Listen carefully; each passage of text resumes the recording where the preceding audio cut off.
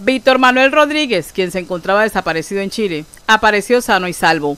El pasado miércoles se comunicó con sus familiares en Buenaventura, lo que tiene a sus allegados muy tranquilos, ya que pensaban lo peor, porque su madre asegura que fueron momentos de zozobra y que hoy solo es felicidad de saber que su hijo se encuentra bien por medio por medio de, de, la entrevista que ustedes me hicieron. Por eso le doy muchas gracias a Dios y a ustedes que por medio de eso pues vieron vieron la noticia allá en Chile.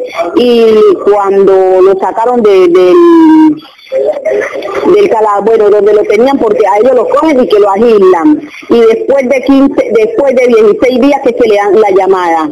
Ah, como yo decía, muy mal hecho, muy mal hecho porque ellos si cogen un colombiano teniendo su familia, que ellos le dicen que tienen su familia, el deber es antes de meterlo allá, porque van a saber que van todo ese poco tiempo, antes de meterlo allá, eh, dale la llamada para que ellos le avisen a su familia que están bien. Un amigo le dice, ay, ustedes usted es Víctor Manuel, entonces dice, sí, ay, mira, mira que tu familia está desesperada porque han pasado varias, varias, varias, varias, eh, varias fotos buscándote. Entonces ahí fue que le regalaron el minuto y me llamó. Mire que me llamó y desde ahí más con él porque pues como no tiene teléfono, no tiene nada, no sabemos qué ha pasado con él ni nada.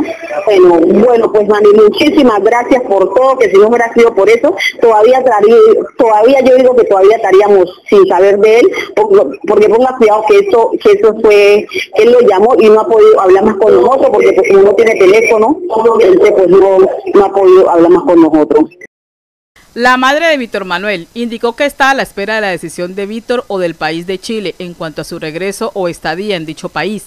Precisó que el diálogo con su hijo fue muy corto y no hubo oportunidad de saber si regresará a su ciudad natal. Una alegría, una alegría inmensa, casi caigo ahí.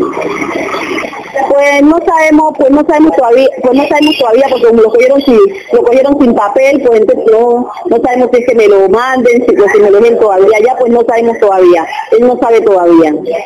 La señora María Luisa Rodríguez, madre de Víctor Manuel, asegura que lo que más desea en estos momentos es volver a abrazar a su hijo y que pueda rehacer su vida en Colombia, pero al lado de sus seres queridos.